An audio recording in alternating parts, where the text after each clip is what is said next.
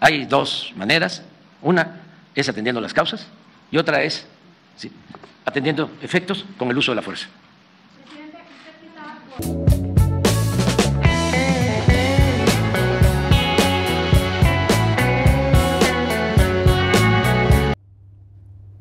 Mientras en los Estados Unidos se habla de que este loco es cómplice de los cárteles porque no los quiere combatir, bueno, esa sería una muy buena razón para creer que este güey es cómplice de los cárteles porque no los quiere combatir. Como dice el presidente del Salvador, si no combates al crimen organizado o cualquier crimen es que eres cómplice de ellos y son tus amigos. Pero se equivocan los gringos. Porque nuestro cabecita blanca sí está combatiendo el crimen, pero no con la fuerza, sino con abrazos. Los gringos dicen, ese presidente de México no combate el crimen los está dejando libres, los está dejando hacer lo que ellos quieran. No, se equivocan los gringos. Nuestro cabecita blanca sí los está combatiendo con abrazos. Porque nuestro merolico callejero de Palacio dice que hay dos formas de combatir el crimen. Una es con la fuerza y otra es atendiendo las causas. Así que hay dos maneras, dice, a palos o a abrazos, o atendiendo las causas. Este güey está en lo cierto. Hay que atender las causas, eso sí es cierto. Eso es lo mejor para todos los problemas que nos afectan, atender las causas.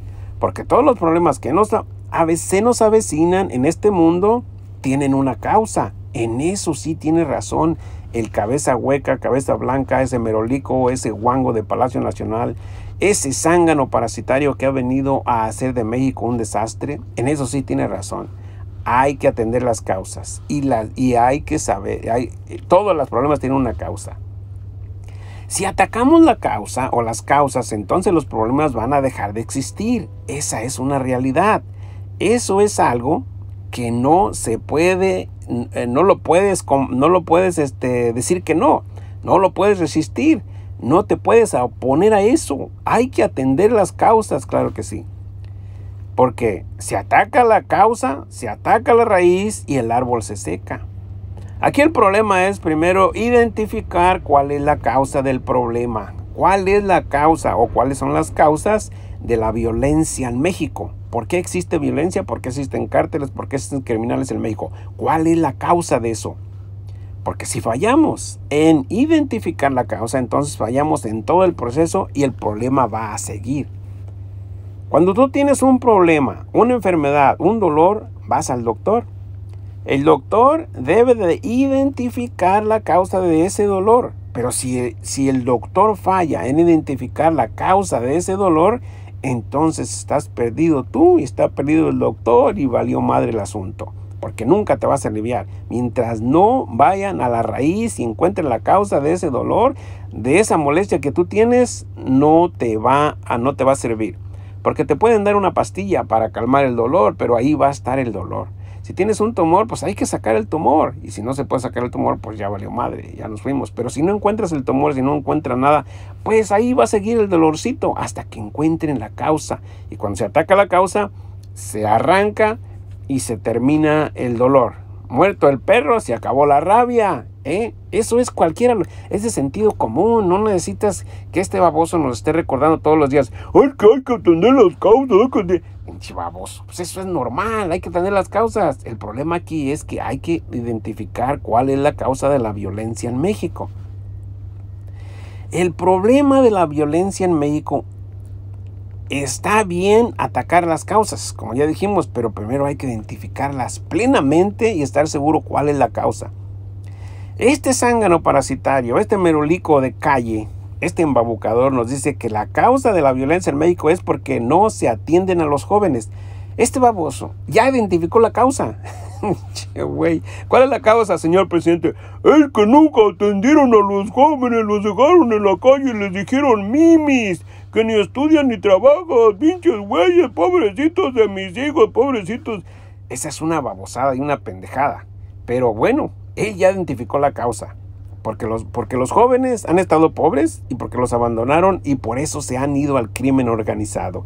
Esa es la causa, esas son las causas. Ya identificó las causas este baboso.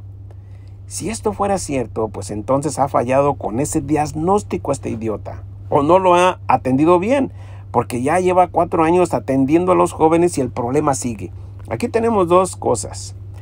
Las causas, está erróneo este idiota en que, en que no se atendieron los jóvenes, que la causa de la violencia es porque no se atendieron los jóvenes, en eso está mal. Pero si está bien, de todos modos falla el idiota porque pues ya lleva cuatro años atendiendo a los jóvenes y la violencia sigue.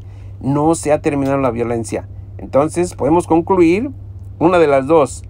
¿Está mal atacando las causas o está mal el diagnóstico? Y yo me inclino porque está mal el diagnóstico. Esa no es la causa de la violencia en México, que porque no se atendieron a los jóvenes esas babosadas. Sabemos que este güey, este merolico gallejero, este inoptizador, encandilador de mentes débiles en México, todo lo que hace es para comprar votos, aunque falle en su diagnóstico y aunque falle en cómo atacar ese diagnóstico, aunque falle en todo. Este, este güey lo que le importa son los votos y caerle bien a la gente. Con eso de que los jóvenes y las babosadas y que les da becas y que los trae, que los trae aprendiendo cómo soldar, cómo cambiar llantas y esas pendejadas y babosadas que hace este güey, todos los programas sociales son una estupidez todos. Con eso se gana la gente. Porque esa lo que está haciendo este güey no es realmente que quiera acabar con la violencia y quiera ayudar a los jóvenes. No, lo que él está haciendo es una excusa para para hacer, para crear dependencia en México, para crear dependientes. Y mientras más jóvenes los, de los estés haciendo dependientes del gobierno, ese es su objetivo, crear dependencia. Este idiota quiere hacer de México un Cuba, un Venezuela, donde el gobierno sea el encargado de llevar todo y de darle su alimento de croquetas a todos. Este viejo guango ha fallado en su diagnóstico, ya sabemos eso, ha fallado, porque en todo falla, es una desgracia para México, todo ha fallado y ha atacado en ese diagnóstico, ha, fallado en atacar ese diagnóstico. El problema de la violencia en México no es que no haya atendido a los jóvenes, ese no es el, ese no es el problema, esa no es la, la causa. El problema de México y las causas de que hay mucha violencia es la impunidad, la impunidad amigos. Esas son las causas de la violencia en México la impunidad. Y para que se acabe el problema en México hay que combatir la impunidad. ¿Y cómo combatir la impunidad? Pues eso ya es otro asunto, cómo combatirla. Pero lo que podemos aceptar aquí que este viejo guango ha fallado en su diagnóstico o se ha hecho pendejo. Porque una cosa es fallar y otra cosa es hacer, estar haciendo a la gente idiota. Porque todos los que lo escuchan y todos los que le creen a este güey todos son unos mentes débiles que no analizan, que no piensan, que no se dan cuenta que los ha estado engañando por 20 años. Yo cuando lo escuché hablar por allá en 2005 dije, este güey es un comunista, este güey es un socialista y este güey a mí no me hace pendejo. El problema no es que no haya atendido a los jóvenes, el problema es que hay crímenes y no se castigan esos crímenes. Ese es el problema, que no hay castigo, que la impunidad perdura o persiste. Hasta el, día de, hasta el día en que se castigue cada crimen es cuando va a terminar la violencia. Cada crimen sea castigado, entonces ahí va a acabar la violencia. Es cuando vas a ver, cuando haya un temor de delinquir. Porque los seres humanos no se van a comportar bien si no hay un temor a algo o a alguien. ¿Cuál es el temor? Que pues que no haya impunidad, que se, que se termine la impunidad, que cada crimen sea castigado. Si las personas cometen un crimen y ven que no hay consecuencias después de que cometieron ese crimen, pues van a seguir cometiendo el mismo crimen. Y los que están viendo, los van a seguir porque dicen, pues a este no le pasó nada, pues yo también me echo al río, al cabo la corriente no me hace nada y puedo salir a la otra orilla. Y van a ser como los, y son como los pingüinos y así van a seguir, a seguir, a seguir y la violencia nunca se va a terminar. Porque el problema de no es que se hayan abandonado a los jóvenes como dice este baboso. El problema es que no hay castigo para cada crimen.